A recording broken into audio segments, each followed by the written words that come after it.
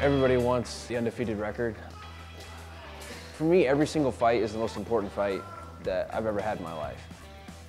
I think there's more pressure to not let your teammates down and not let everybody else that has put their time and effort and energy into you and to not let them down rather than the record. The record's great, but really it's just a matter of putting on the best performance that you can because if I lose to somebody because they're better than me, I can live with that. I mean, we're human, right? Like there's always gonna be somebody better out there. But if I lose to them and I didn't put my best effort, then that's the bitter pill to swallow. And that's what brings me to work every day. And that's what makes me try to get the most out of every single practice that I do.